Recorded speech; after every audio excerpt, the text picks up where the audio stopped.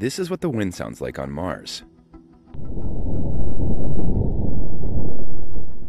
NASA's Mars InSight lander touched down on the red planet last week, and it has already made history.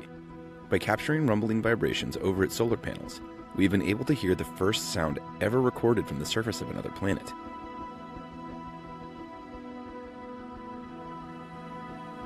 After a seven month journey, InSight landed on Mars on November 26th with the mission to study how rocky planets formed and evolved.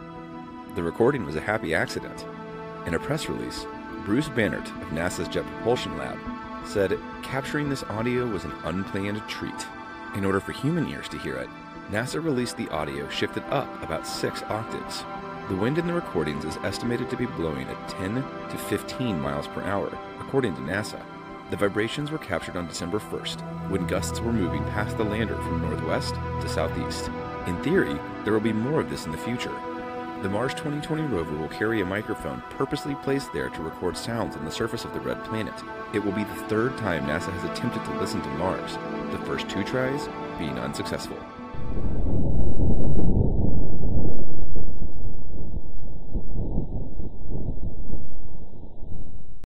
Hey, NBC News viewers, thanks for checking out our YouTube channel. Subscribe by clicking on that button down here and click on any of the videos over here to watch the latest interviews, show highlights, and digital exclusives. Thanks for watching.